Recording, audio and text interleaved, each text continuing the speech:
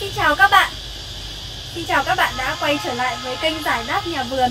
Nếu các bạn đang cần tìm một loài cây giúp để làm đẹp cho không gian nội thất Và lại có tác dụng thanh lọc không khí Thì cây cao thái ở bên cạnh mình đây chính là một sự lựa chọn hoàn hảo dành cho các bạn. Loài cây này mang đến vẻ đẹp hiện đại, sang trọng Và tạo ra nguồn cảm hứng thú vị cho toàn bộ không gian trưng bày. Bên cạnh tác dụng trang trí và thanh lọc không khí thì cây cao thái còn mang đến những ý nghĩa phong thủy rất là tốt đẹp nữa. Hôm nay giải đáp nhà vườn sẽ cùng với các bạn đi tìm hiểu một cách chi tiết về cây cao thái này nhé.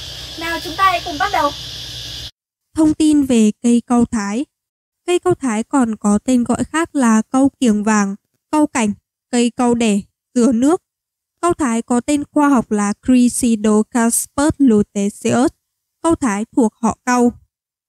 Cây cao thái có nguồn gốc từ đảo Madagascar của châu Phi, chủ yếu phân bố ở các vùng nhiệt đới và được trồng phổ biến ở Việt Nam.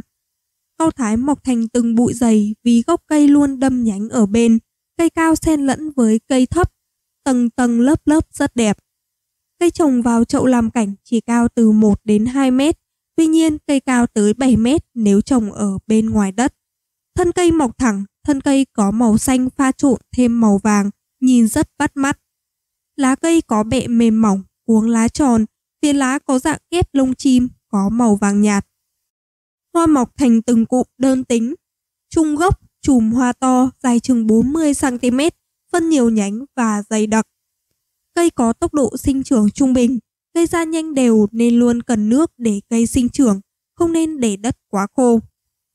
Cây câu thái có những tác dụng gì? Cây cao thái có sức sống mạnh mẽ, sức dẻo dai, nên cao thái thường được dùng làm cây cảnh cho các công viên, quán cà phê hay nơi công sở. Cây thuộc nhóm cây cảnh văn phòng, cây cảnh trang trí nội ngoại thất cho tiểu cảnh sân vườn. Cây tạo điểm nhấn đẹp cho các hành lang, tiểu cảnh, tạo điểm nhấn cho công trình sân vườn nội và ngoại thất. Chăm sóc cây cao thái Cao thái thuộc loại cây cảnh nội thất đẹp, dễ thích nghi, dễ trồng trong nhiều môi trường khác nhau như trong nhà, ngoài trời hoặc các vùng đất khác nhau. Câu thái thường được trồng ở nơi có ánh sáng vừa đủ, không nên để cây ở những nơi có ánh sáng chiếu trực tiếp và cũng không nên để ở những nơi có ánh sáng quá yếu, bởi những điều này có thể làm lá cây bị mỏng, sinh trưởng kém. Câu thái thuộc loại dễ trùm, phát triển mạnh, nên nếu trồng trong chậu, bạn phải chọn một chậu cây to, có cơ chế thoát nước tốt để tránh ngập úng. Đất để trồng cần tơi xốp, thoát nước tốt đủ dinh dưỡng cho cây phát triển. Bạn nên dùng phân hữu cơ trộn cùng đất trồng để cây có độ bền cao hơn.